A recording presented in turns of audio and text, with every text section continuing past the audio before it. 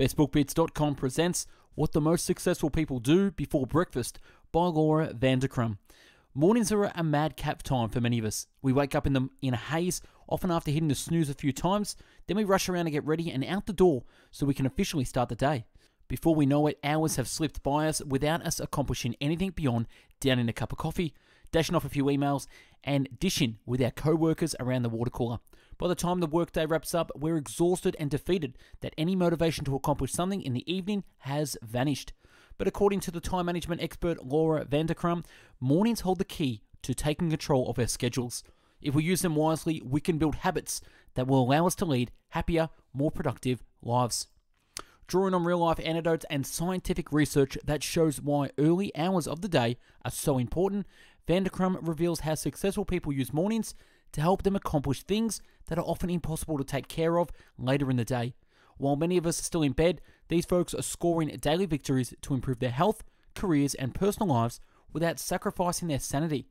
For instance, former PepsiCo chairman and CEO Steven Reinemund would rise at 5 a.m., run 4 miles, pray, and eat breakfast with his family before heading to work to run a Fortune 500 company. What the most successful people do before breakfast is a fun, practical guide that will inspire you to rethink your morning routine and jumpstart your life before the day has even begun. The written and audio summary can be found on our website, bestbookbits.com. So, without further ado, I bring you the book summary of What the Most Successful People Do Before Breakfast. Vanderkam acknowledges that mornings can be a rushed and chaotic time of the day, and starting your day out like this is the reason that so many people live with the understanding that they simply do not have enough time.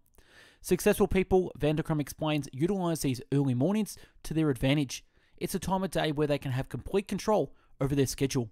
Getting up early to tackle a few of your key priorities or favorite hobbies is an excellent way to focus on these tasks without distraction as soon as other people are awake in your household or people who try to contact you are awake, you are opening yourself up to distractions. If it has to happen, then it has to happen first. If you leave the important tasks until the end of the day, they're unlikely to get done. This is why a lot of successful people will exercise before 6 a.m. This way, they can tick it off and get on with the day. Leaving it until the end of the day only opens up more opportunities to skip it or give it a miss. Vanderkam describes willpower as similar to a muscle. Just like your own muscles, overuse will lead to burnout, and the correct use and practice will lead to more strength. If you start your day by getting some important things done, you can ensure that your willpower is at its strongest. The likelihood is that by 5 pm, your willpower is starting to wane. The key is to work on your routines and habits. Initially, willpower will be essential, but eventually, an automation will happen and they will become habitual. All successful people will turn their important tasks into habits. Important but not urgent things. The best morning rituals are activities that, when practiced regularly, result in long term benefits. There are three key things Vanderkam recommends you try and achieve in the mornings. Number one, complete the key work tasks first thing in the day. By doing things, you are avoiding the distractions of emails, meetings, and other people. Select one important task and get that done first. In doing this, you are nurturing your career.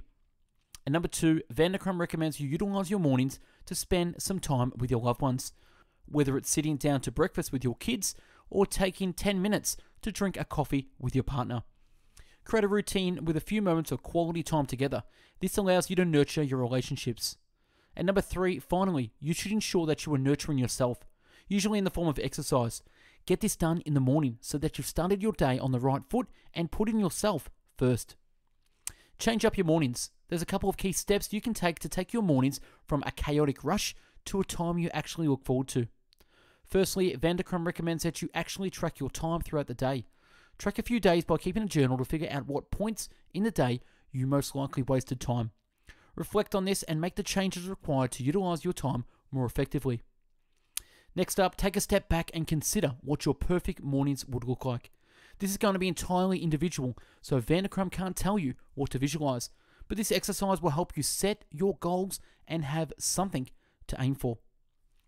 Another time focused tip Vanderkam encourages you to consider the logistics of your morning activities. Work out the timings of everything you need to get done in the morning. For example, a shower may take 10 minutes, including drying off and getting dressed. Consider this timing when you decide what time you need to wake up in the morning and use that time to decide what time to go to sleep the evening before. As discussed previously, the key is building the habit. The key is building the habit. Turning this new approach, these new tasks into a ritual, something you'll do automatically. Vanderkam suggests you start small and he introduce things one or two at a time. Don't try to radically overthrow your whole routine with 10 new tasks. It will be too overwhelming. Finally, Vanderkam acknowledges that things change. Your routine right now might work for you, but in five years it may not be applicable anymore. You need to accept this and have the ability to adapt. What the most successful people do on the weekend. How many of us are wishing our time away holding out for the weekend, and then the weekend arrives, it flies by, and we look back having accomplished almost nothing? It's an easy trap to fall into. Vanderkam points out that between the time you knock off work, 6 pm on Friday, and the time you wake up 6 am on Monday, you actually have 60 whole hours. And even if you sleep 24 of those 60 hours, you're still left with 36 hours. That's almost the same number of hours you'll spend working in a full time job. Vanderkam suggests that just as you have working hours when you are online available and working, you should essentially clock off or go off the grid on the weekends to allow some rejuvenation. How to plan a weekend. Vanderkam suggests that you actually ask yourself what you want to do more of with some extra time. Create a weekend dream list, things you want to get done during Saturday and Sunday, and allocate a slot for them. E.g., dinner out with a loved one on Saturday night, yoga and coffee with a friend on Sunday morning. Vanderkam's six tips for planning your weekend. Number one, dig deep. Try and remember the things you used to love doing, even as a kid. Just because you haven't done something in years doesn't mean you can't do it now. Number two, use the mornings in the weekends too. Often this is wasted time. Use them. Don't sleep in till 11 a.m. And number three, take the opportunity to create fun traditions, e.g., pancakes on Saturday mornings or heading to the local farmers market on Sundays for a coffee. And number four, schedule downtime for yourself. It doesn't have to be all go. There's nothing wrong with spending an hour napping in the sun or reading on the couch. Number five, make time to explore your local and distant surroundings. Go to a new park for a walk or take a train trip to a nearby city for the day. And number six, Sunday evenings do not have to be a wasteful time where you're dreading the following day. Plan something fun to do on Sunday evenings. A top tip from Van- is to use some time on the weekend to schedule your week ahead. Add any appointments, tasks, chores, and errands that will need to be done alongside your usual working day. What the most successful people know about the weekends is that life cannot happen only in the future. It cannot wait for some day when we are less tired or less busy. What the most successful people do at work. If you make certain choices in your work, though, if you develop certain disciplines and invest your time instead of squandering it, you can do more with the time you have. Vanderkam suggests you ask yourself a few of the following questions Do you enjoy work? Is there a better way that you can be progressing in your career so that your work is more enjoyable? Is there a better way to use your working hours so that when you are working, you are producing the best possible results? Vanderkam also feels strongly that we shouldn't brag about how many hours in we work in any given day or week as a direct indication of how committed we are or how successful we are in our work. It doesn't matter how many hours you are there, it matters what you get done in those hours. Discipline 1 Mind your hours. Your time is literally being used up as we speak. There's no pushing, stopping, or rewinding it. You can't rewind it once you've used it all up. We all receive the exact same number of hours each day, week, month, year. You've got to decide how to best use it. One way to try to establish how you're currently using your time and find opportunities for improvement is to keep a time log. Write down how long different tasks take you and how they fit into your day. Then you can evaluate whether you are spending too much time on certain tasks. Discipline 2 Plan. The first step is to plan to plan. Dedicate a slot of time every week, either at the beginning of or the end, to sit down and schedule your week ahead. Estimate some key goals, both short term and long term, and plan out how you're going to achieve them.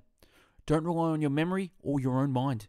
Anything you've got going on in your head, write it down and make it into a plan. For example, every Sunday, Vanderkam will sit down and write her priority list. She considers all of her goals and plans out what the next week will hold in relation to achieving these goals. This list will include everyday work tasks as well as small steps to achieve those long term goals. Starting with Monday, Vanderkam will be quite tight with her schedule and she'll keep Tuesday through Friday a bit looser. Then, as each day closes, she'll make a few moments to fine tune the next day's schedule. This way, she ensures that almost everything gets achieved by Friday. Discipline 3 Make success possible. Make success possible. Vanderkam emphasizes the importance of being realistic with your schedule.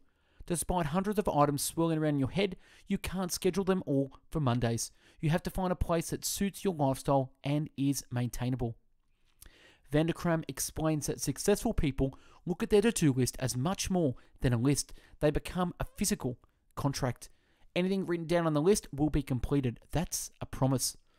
Obviously, Vanderkam acknowledges that things happen, life happens, and sometimes your day isn't going to go quite as planned. But examining your priority list and creating a system that works for you is key to remaining accountable. Vanderkam recommends setting six priorities per day three to be completed that day, and the other three can be small steps working towards long term goals. If required, set some accountability to your goals. Tell someone about them and get them to ask you regularly to check you're on track. Creating a mental trigger is a good idea, for example. Whenever you see the number 11, could be on the clock, on an email, etc., consider it time to check your to do list to make sure you are on track. And discipline 4 know what works. Acknowledge what tasks distract you and take your attention away from your priorities, whether this be checking emails or doing work that should have been delegated, and work on removing these distractions from your day. Schedule breaks regularly. This is to avoid burnout. Try a walk around the block or some lunchtime stretching. This will allow you to take a mini mental break and return feeling refreshed and more productive. Discipline 5 Practice. Everyone needs to practice, whether you're a sports person, business person, or a musician. You have to practice your profession in order to get better. Don't just rely on autopilot.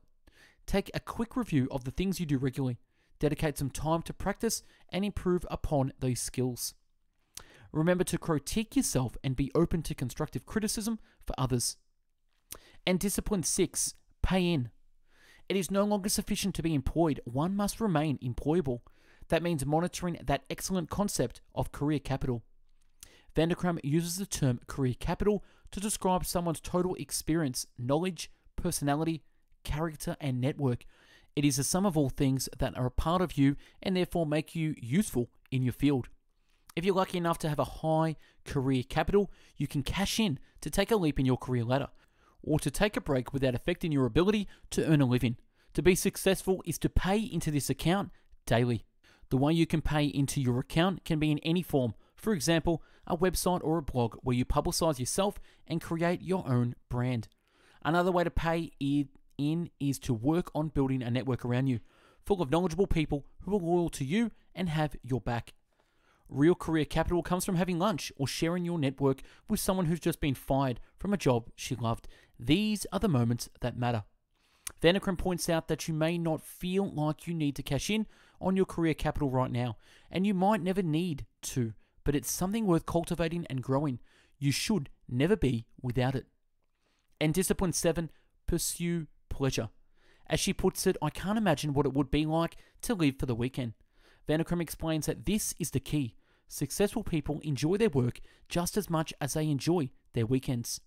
The simple act of making progress on a task or working towards a goal actually brings you joy. The more productive you can be, the more joy you will feel. Vanderkam explains that successful people are constantly evaluating what parts of their day bring them pleasure and which parts do not. They focus on spending more time on pursuing their pleasures and less time on other tasks, whether this be by delegation or automation or simply deleting certain tasks out of your day. Conclusion Key takeaways. There are seven key disciplines. Number one, mind your hours, understand how you use your time, and make improvements. Number two is plan. Planning is essential. Make time to plan. And three, make success possible. Make it easy on yourself. Be realistic. Set six priorities each day three for immediate completion and three long term. Number four, know what works. It's not a one size fits all. Understand what works for you and fine tune your schedule appropriately. And number five is practice. No matter how you're disciplined, practice it regularly. Continue learning. Number six, pay into your career capital, and you never know when you might need it. And number seven, pursue pleasure. Do the things you enjoy. And that's a wrap on what most successful people do before breakfast. Subscribe to the channel and take a look at the hundreds of book summaries uploaded previously. To find hundreds of written summaries, check out our website, bestbookbits.com. And for hundreds of audio podcast summaries, find us on mixcloud.com forward slash bestbookbits. If you like reading and want to get involved in sharing knowledge and spreading great book summaries, connect with myself by emailing info at bestbookbits.com to join us and the team. Thanks for watching and listening, and have yourself an amazing day. Go out there and create your morning routine.